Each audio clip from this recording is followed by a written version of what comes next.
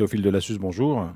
Merci d'avoir accepté notre invitation pour revenir effectivement sur ces chiffres de la délinquance présentés euh, par le haut commissaire euh, cette semaine. C'est un exercice annuel hein, qui permet de voir l'évolution de la délinquance. Euh, ma première question est simple. Est-ce que la délinquance évolue favorablement, pas favorablement? Est-ce que ça dépend des secteurs? Quel est le premier bilan que vous en tirez globalement? Bah, le premier bilan qu'on en tire, c'est qu'il y a à la fois euh, des chiffres, on va y revenir, euh, qui appellent euh, des actions supplémentaires ou qui appellent une prise de conscience encore plus forte sur les violences intrafamiliales, sur l'alcool, on va y revenir j'imagine. Mais il y a aussi des très bons chiffres et je voudrais peut-être commencer par là euh, en, donnant euh, deux chiffres. Il faut dire quand les choses euh, vont bien, quand les choses vont mieux. Le premier chiffre, c'est celui de la baisse des atteintes aux biens, les vols, les cambriolages, moins 10% en 4 ans sur les, les atteintes aux biens, sont un excellent chiffre. Et au sein de ces atteintes aux biens, le deuxième chiffre, c'est la baisse des cambriolages, moins un quart de cambriolages en Nouvelle-Calédonie en 4 ans, moins 25%.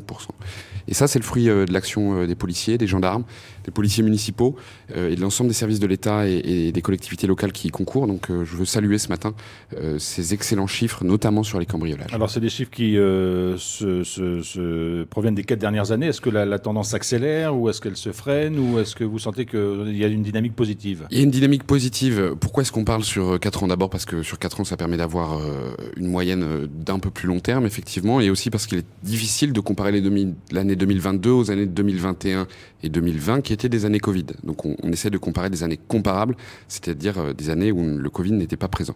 Donc euh, la dynamique est bonne, elle continue en ce début d'année sur les cambriolages, euh, la, baisse des cambriolages, et c'est euh, là-dessus euh, notamment que les services de police et de gendarmerie vont continuer à travailler. Alors dans les atteintes aux biens, il y a les vols de voitures. On sait que de nombreux Calédoniens sont agacés hein, par ces vols de voitures à répétition. Est-ce que les chiffres augmentent, diminuent sur ce, ce point précis et comment faire pour lutter contre ça?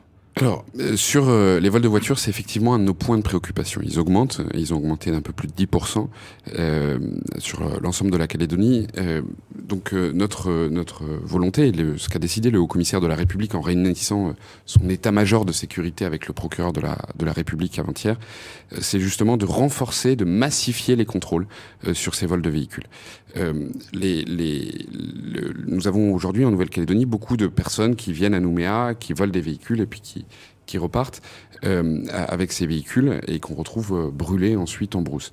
Donc nous allons euh, créer des contrôles massifs de flux à la sortie de Nouméa certains jours, qu'évidemment je ne vais pas donner ce matin, mais le souhait du haut-commissaire, c'est vraiment de renforcer la lutte contre les vols de, de véhicules et d'en faire une priorité pour l'année 2023.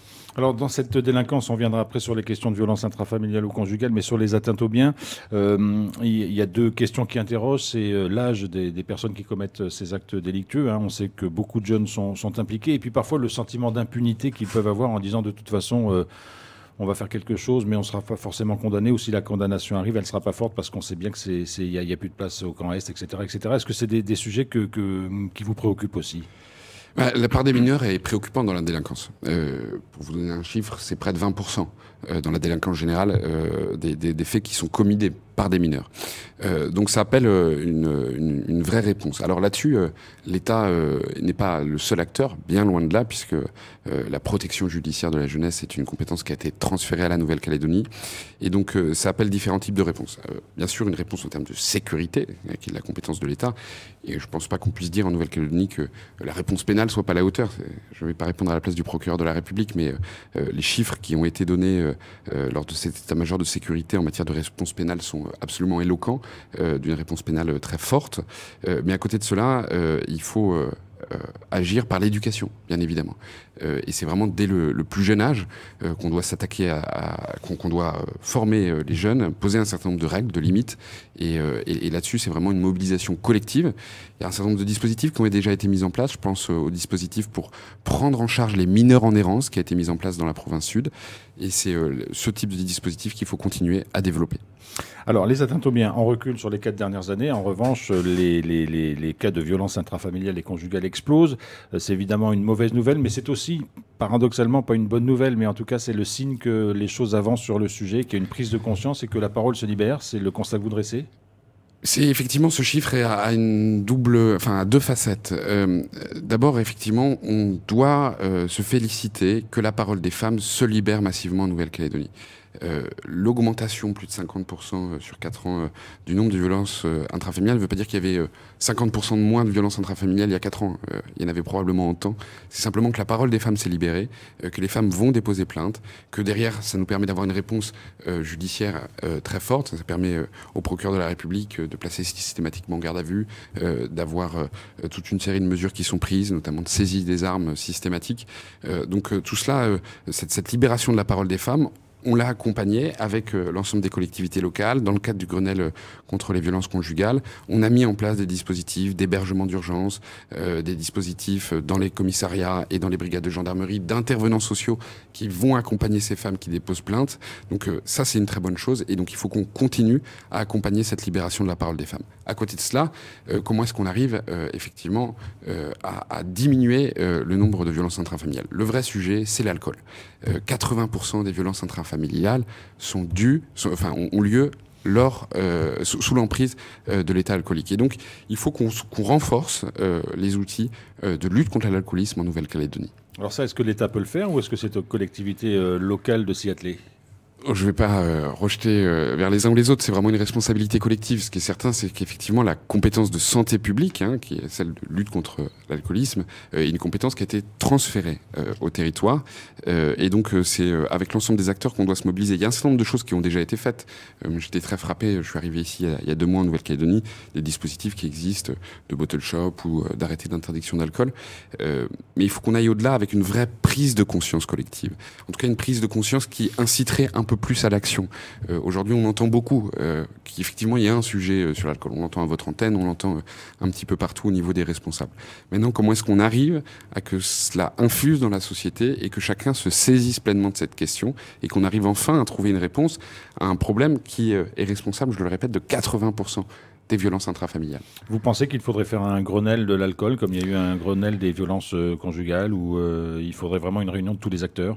D'une certaine manière, et c'est à ça qu'on commence à travailler, euh, quel est le nom que ça prendra, je ne peux pas vous le dire, mais le souhait du haut-commissaire de la République, le souhait du procureur de la République, le souhait de l'ensemble des acteurs, c'est qu'à un moment on se mette autour de la table, qu'on souligne ce qui va bien aussi, parce qu'il y, y, a des associations qui sont pleinement mobilisées sur le sujet. Il y a un certain nombre d'actions qui fonctionnent, donc commencez par souligner ce qui va bien, et, puis ensuite, dans un second temps, euh, travailler euh, à trouver des nouvelles solutions et à faire euh, émerger cette prise de conscience plus forte au sein de l'ensemble de la population. Même si sur ce sujet-là, sur ce sujet-là, la, prévention, euh, c'est pas la compétence de l'État. Vous pourriez accompagner les collectivités si elles mettent en place des démarches euh, dans ce sens? Alors on le fait déjà, euh, et euh, effectivement, la prévention de la délinquance, comme la prévention routière, sont des compétences de la Nouvelle-Calédonie, mais à chaque fois l'État est très présent en accompagnement financier. on l'est sur la prévention des violences intrafamiliales, on est sur, on l'est sur la lutte contre l'alcoolisme, et on sera prêt évidemment à continuer à accompagner cette cette démarche. Euh, c'est en tout cas, euh, si on veut trouver une solution à la, à la délinquance en Nouvelle-Calédonie, le sujet central auquel il faut s'attaquer.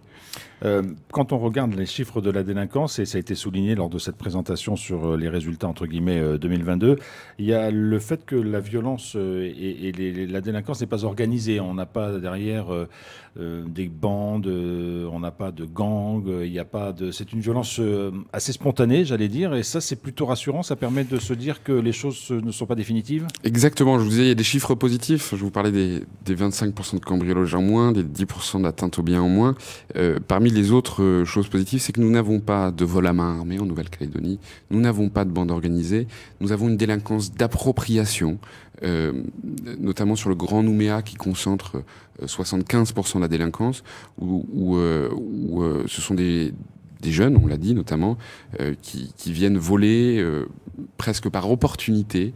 Euh, et, donc la bonne nouvelle, c'est que nous n'avons pas de gang, nous n'avons pas de mafia, nous n'avons pas de violence à main armée. On va continuer à y être très vigilant pour éviter que cela apparaisse.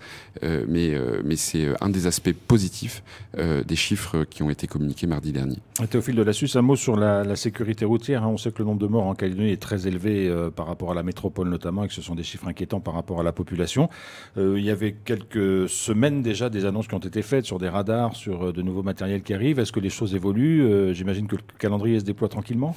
Le calendrier avance, comme vous l'avez dit. il y a eu un Conseil calédonien de la sécurité routière qui s'est tenu en fin d'année dernière. Euh, avec euh, toute une série d'actions qui euh, sont déployées progressivement. la question des radars, bien évidemment, est un sujet important. Une mission va venir de l'Hexagone pour, pour voir comment est-ce qu'on peut installer des radars en Nouvelle-Calédonie. C'est l'objectif de, de, 2023. À côté de ça, il y a le renforcement des contrôles. Je le disais, je vous parlais du renforcement des contrôles sur les, les, vols de véhicules. L'idée en faisant un contrôle massif de flux sur le Grand Nouméa, c'est justement de pouvoir contrôler y compris la sécurité routière, et faire un, contrôle multidimensionnel. Euh, à côté de ça, et j'aimerais euh, revenir un instant là-dessus, euh, nous allons faire en sorte de déployer beaucoup plus, enfin d'augmenter le taux de présence de la police et de la gendarmerie sur la voie publique. les cycles horaires, par exemple, de la police nationale ont été modifié au cours euh, de l'année écoulée, euh, avec cet objectif de renforcer la présence, notamment le week-end, d'avoir plus de monde sur, euh, sur, sur, la route et de pouvoir ainsi multiplier le nombre de contrôles, euh, d'opportunités, d'initiatives de la part des policiers et des gendarmes pour encore augmenter la lutte contre la délinquance et notamment la lutte contre la délinquance routière, qui est un vrai sujet en Nouvelle-Calédonie. Je répète ce chiffre parce qu'il est assez marquant. 70 morts euh, pour 270 000 habitants en 2022, c'est énorme euh, et donc euh, euh, ça appelle là aussi une prise de conscience, la plupart du temps, dans 80% des cas, lié à l'alcool. Et ce qui montre à nouveau que le sujet de l'alcool est un sujet central auquel il faut qu'on s'attaque pour pouvoir résoudre le problème de la délinquance ici sur la Grande Terre. Théophile de Lassus, directeur de cabinet du Haut-Commissaire, merci d'avoir été notre invité ce matin. Merci à vous.